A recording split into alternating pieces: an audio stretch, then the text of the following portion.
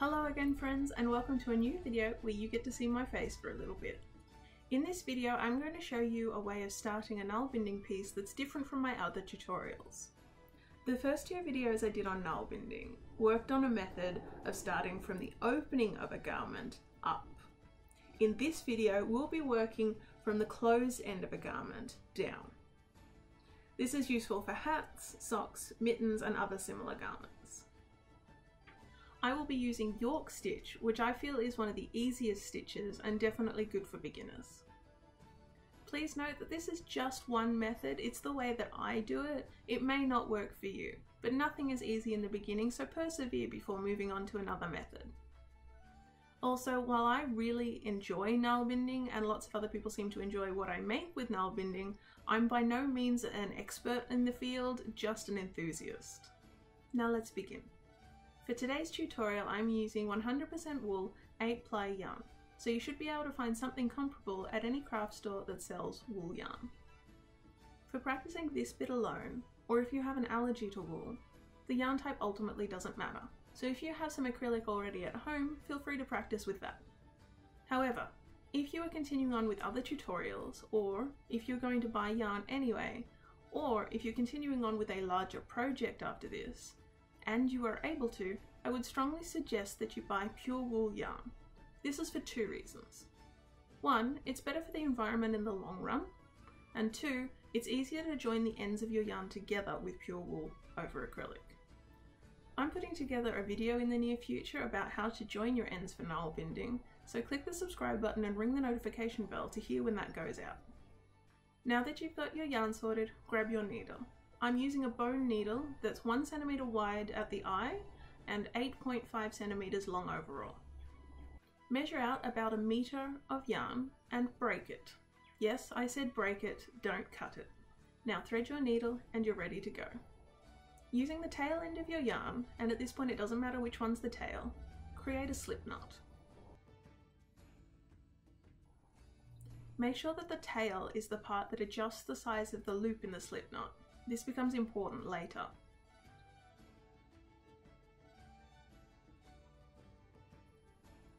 Put the loop over your thumb with the tail pointed into your palm.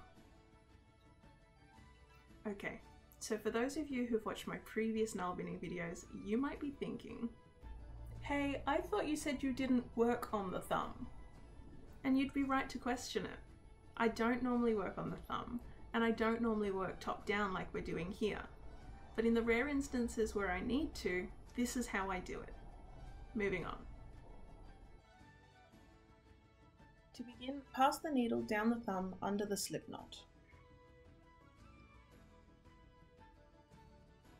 Next, pass the needle through the first loop and underneath the slip knot on your thumb and make sure it is under the yarn working tail.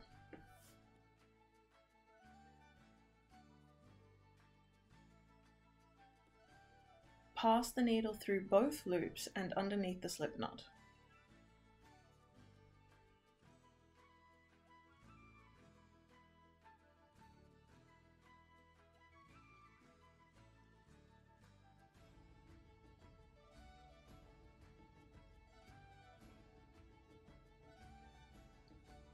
Now pass the needle through the second and third loops you've made and underneath the slip knot.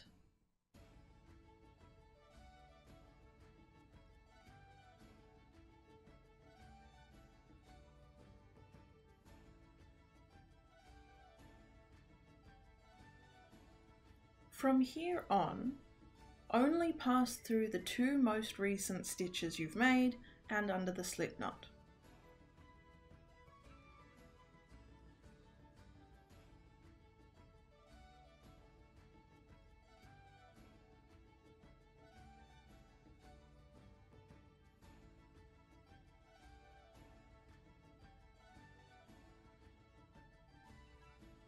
After you've made a few stitches, you'll see the chain forming like we have in previous videos, but this time you'll see all of the stitches are linked on the slip knot.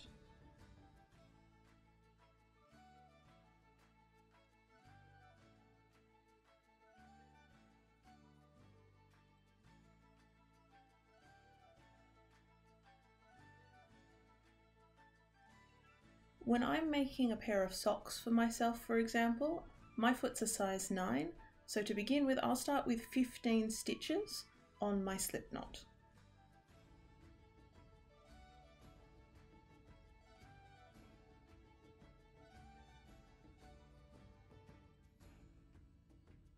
Once I have 15 stitches, I take the work off my thumb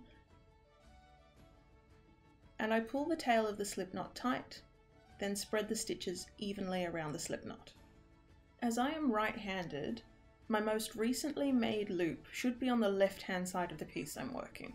To start the second round of this piece, I'll insert the needle from front to back into the first and second stitches on the right side of the piece. I should have two stitches on my needle.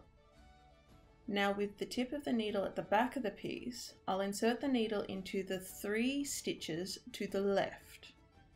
Now I should have five stitches on the needle. Pull the needle through, making sure the working yarn is in front of the needle. Now pull just tight enough that that loop you have made disappears. Where you inserted the needle on the right, you'll insert the needle again.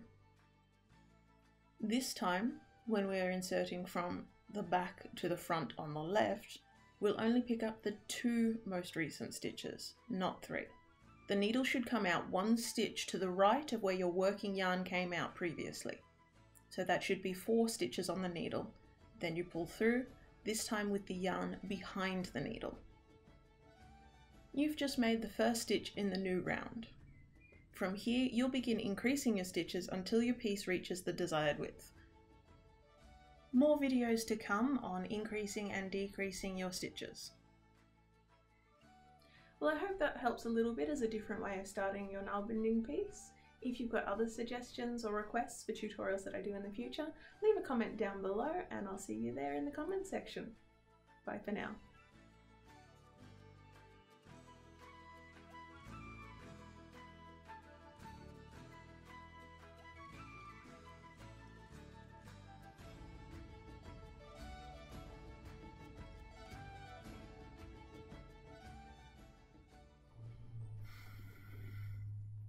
Oh, come on, wind. Come on. Just let me record. Yeah, the microphone's picking up all of that.